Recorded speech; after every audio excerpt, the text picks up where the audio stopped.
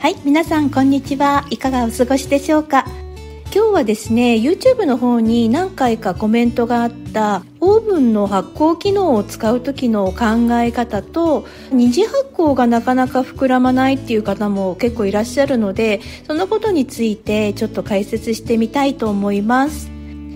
YouTube の野菜の日チャンネルの中ではタッパの中で生地を作ってそれを一回り大きなタッパで湯煎をして温めて一次発酵をと取るっていうことをご紹介しているんですがちょうどいいものを持ってらっしゃらなかったりオーブンのね発酵機能を使いたいんですっていう方もいらっしゃるんですよね。オーブンで、えー、発酵させる場合にはプラスチックの容器の中でそのままオーブンに入れてたとえ発酵だとしてもちょっと心配ですので金属の容器もしくはボウルなどに移していただいてラップをしてそしてオーブンの発酵機能に入れていただきたいと思います。通常は35度から45度ぐらいまでの設定があると思います。だいたい3段階が多いんじゃないかなと思うんですけれども一次発酵は基本的に40度がいいんじゃないかなと思います。最初に発酵するためにオーブンの中に入れる場合にオーブンの中が冷たいと生地が冷えやすいので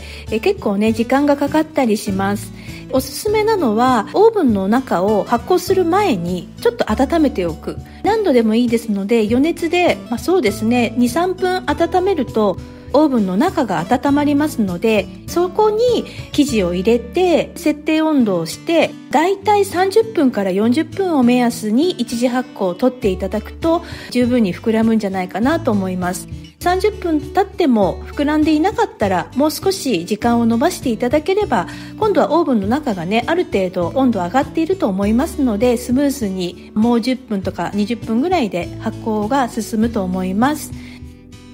二次発酵の時には、まあ、私もオーブンの発酵機能を使う場合もありますし室温でそのまま発酵させてしまう場合もあるんですけれども二次発酵の考え方は一次発酵よりちょっと高めの温度で発酵させていただくのがスムーズに発酵します。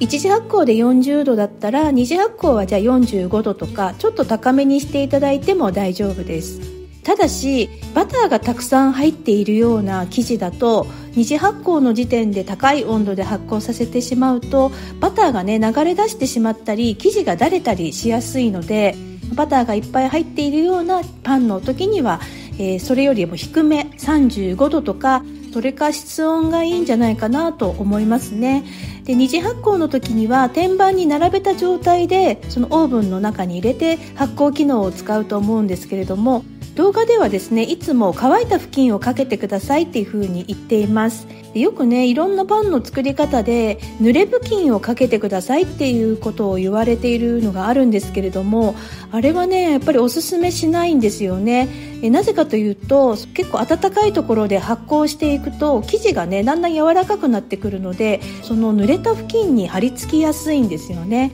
サランラップとかそういうのもダメです。乾いた布巾もしくはタオルとかそういうものをふんわりかけていただくのがとってもおすすめです。生地が乾燥するんじゃないかと言われますけれどもそれもそんなに心配はいりませんしもしそれが心配だったらオーブンの中にね熱いお湯を入れた小さな器みたいのをちょっと入れておくと防げると思いますので表面にかけるのは乾いた布というふうに覚えていただきたいと思います。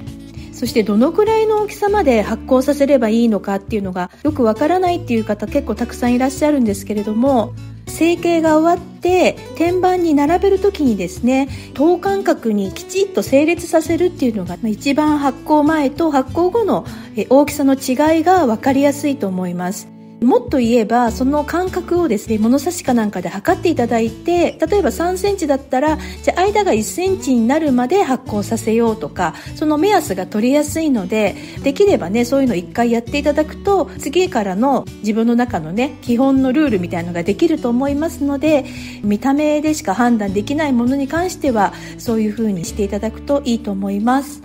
作り慣れてくるとだんだんと大きさの感覚も分かってくると思うんですけれどもパン作りを始めたばかりの頃は意外とですね早めに切り上げてしまいがちなのでこのぐらいでいいかなと思うところからさらに5分10分足していただくぐらいでちょうどいいと思います。それからオーブンの発酵機能を使っているとじゃあいつ予熱をしたらいいんですか？っていう質問もあるんですが予熱時間がだいたい5分ぐらいかかるとしたら5分手前でパンを出していただいてえそして予熱をスタートさせてください。5分もかからないとしても、まあ、大体5分ぐらい前にオーブンから生地を出していただいて予熱をスタートさせて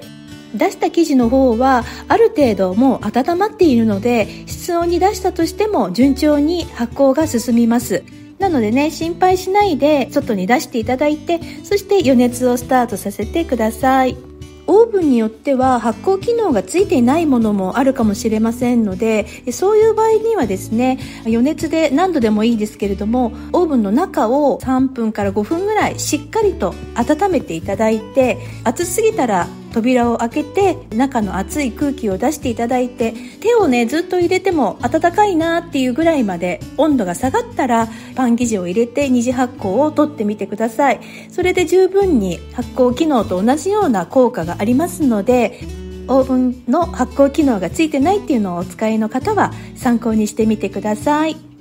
前回もね言いましたけれども発酵に関してはやっぱり生地の中が温まっていないとどんなに周りを温めてもなかなか生地の中心まで温まるのに時間がかかるんですよね。一次発酵も大切ですし二次発酵の時もなるべくね生地を冷やさないようにそしてオーブンの中の発酵機能を使う場合にも最初にオーブンを温めておくっていう準備もねしていただくと順調に発酵が進むと思います。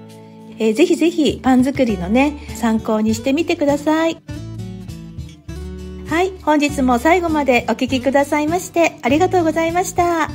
皆さんにとって素敵なゴールデンウィークになりますようにお祈りしています。さようなら。